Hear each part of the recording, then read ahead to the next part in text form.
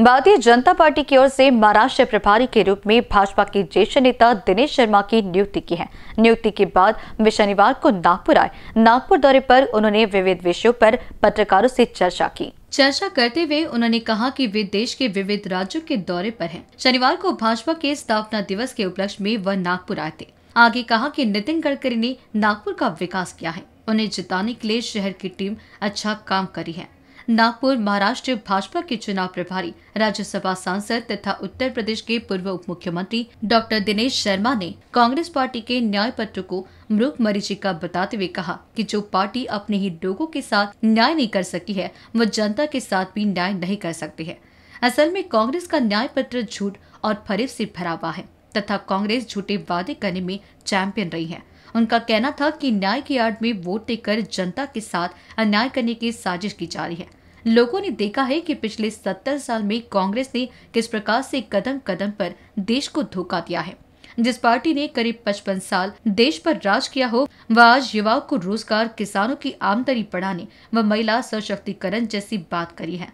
सवाल यह है कि उन्होंने अपने समय में ये काम क्यों नहीं किए? तथा किसने उन्हें रोका था। असल में उनकी नीयत तब भी साफ़ नहीं थी और आज भी साफ़ नहीं है। अगर उन्होंने काम किया होता तो उन्हें आज ये सभी वायदे करने की ज़रूरत नहीं पड़ती। प्रधानमंत्री नरेंद्र मोदी की सरकार ने पिछले दस साल में ऐसे सभी कार्य किए हैं जो कांग्रेस अपने शासनकाल में नहीं कर सकी थी। आज भारत में बिजली लगातार आती है और आने वाले समय में लोगों को फ्री में बिजली की कार्य योजना पर काम होगा। एमवीए की सभी सीटों पर जीत के दावे को हास्यास्पद बताते हुए उन्होंने कहा कि अभी तो उस गठबंधन में सीट के लिए समझौता तक नहीं हुआ है। सीट बंटवारे को लेकर एक दूसरे के खिलाफ ही तलवारें खींची हुई है। ऐसे में मिलकर चुनाव लड़ने की बात तो अफवाह हवा लगती है। असल में इन दलों के दिल कभी मिले ही नहीं थे। चुनाव में इज़्ज़त बचाने के लिए संबंधों को रफू करने की कोशिश हो रही है। शिवसेना यूबीटी पर प्रहार करते हुए उन्होंने कहा कि जो दल अपने संस्थापक का नहीं हो सका, एवं अपनी विचारधारा छोड़ चुका है, वह जनता का भी नहीं हो सकता है। शरद पवार को लेकर कहा कि इस चुनाव के बाद उनके पास पार्टी का बचा हिस्सा भी नहीं रहेगा। इस चुनाव में भाजपा महाराष्ट्र की जनता को स्वार्थी दलों से मुक्ति दिला देगी। मोदी सरकार के तीसरे कार्यकाल में देश और प्रदेश में विकास की नई गाथा लिखी जाएगी। आज अपना विदर्भ का दौरा पूर्ण करने के बाद डॉक्टर शर्मा ने कहा कि हम विदर्भ क्षेत्र की सभी सीटों को भारी बहुमत से जीत रहे हैं। महाराष्ट्र में एक भी सीट पाने के लिए भी महागाड़ी को कड़ा संघर्ष करना होगा। पार्टी के स्थापना दिवस के अवसर पर बोलते हुए उन्होंने कहा कि आज पूरे देश में परिवारवादी एवं राष्ट्रवादी विचारधाराओं के बीच चुनाव है और मोदी जी के नेतृत्व में एनडीए 400 से अधिक सीटों को जीतेगी। अगर आपने मेरे इस प्रारंभिक दौर की बात को सुना हो, आईआईटी, ट्रिपल आईटी क्यों लगाया जा रहा है? आई क्यों लगाया जा रहा है? शेकोसिस क्यों लाया जा रहा है? नरसिंह को क्यों लगाया जा रहा है? इसलिए कि ये योग्य होगा? और योग्य होगा? उसको रोज़गार मिलेगा। पूरे देश के लोग सिकोसिस में आते हैं।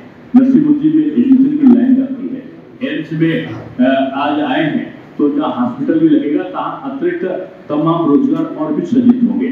आज जो इंफ्रास्ट्रक्चर ठीक किया है, अगर आप कॉमर्स के या इकोनॉमिक्स के विद्यार्थी में कॉमर्स का प्रोफेसर हो इंफ्रास्ट्रक्चर जहाँ का भी ठीक होता है बिजली आ रही हो, सड़क हो बड़े बड़े पुल्स हो बड़े बड़े हाईवे हो तो वहाँ इंफ्रास्ट्रक्चर से साढ़े तीन प्रतिशत जो जो इकोनॉमिक ग्रोथ है, वो अपने आप पे बढ़ जाती है। तो मैं समझता हूँ कि कौशल विकास के माध्यम से एक आधार रखा है। पचपन साल तक कांग्रेस ने कुछ नहीं किया है।